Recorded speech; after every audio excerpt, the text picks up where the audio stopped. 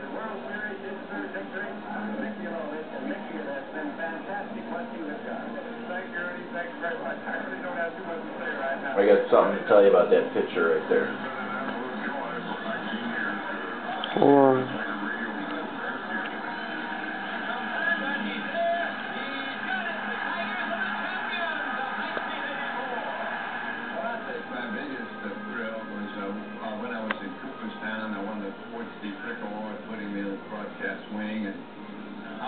The uh, uh, platform there with those great players that I admired all my life, and I had to respond and make a speech.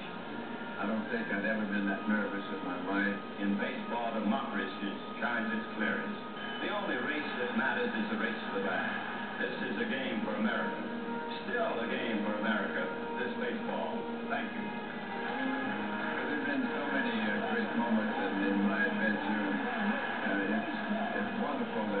God's given me a chance to be at the microphone and enjoy a job that I really love.